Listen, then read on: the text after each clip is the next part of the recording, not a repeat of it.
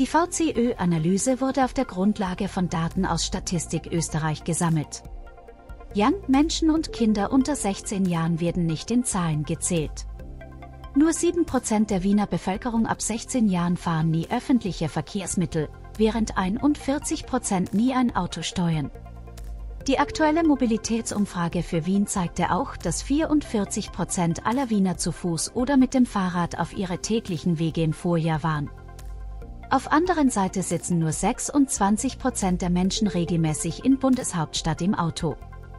Die Wiener leisten somit einen wichtigen Beitrag zum Klimaschutz, sagte der VCÖ. Seniorfreundliches Transportsystem wichtig in Wien ist die Wahl des Transportmittels genauso groß wie in jeder anderen Stadt des Landes.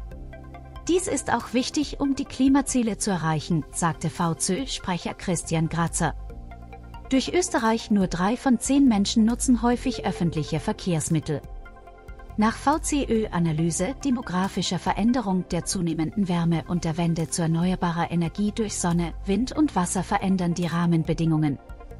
Nach den Statistiken für die Bevölkerungsprognose werden fast 228.000 Wiener 75 plus im Jahr 2040 und damit rund 64.000 mehr als heute gehören. Wichtig!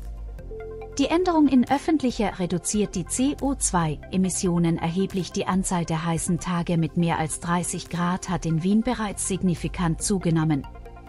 Die Hitze wird auch weiter steigen. Das bedeutet, dass mehr Schattenbäume und Grün in den Bezirken entlang der Straßen sind. Unsere Mobilität muss mehr Platz machen unter Spuren, sagte die VCE.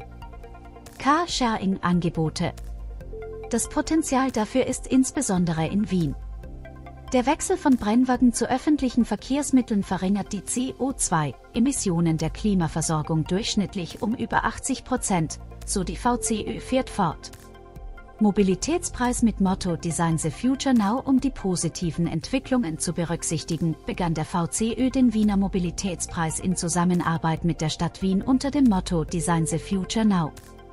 Komponienunternehmen, Startups, Wohnungsbauten, Distrikte, Schulen, Universitäten, Initiativen, Einzelpersonen sind aufgefordert, Projekte einzureichen, die bereits zeigen, wie die Mobilität der Zukunft besser klimatisierter sein kann.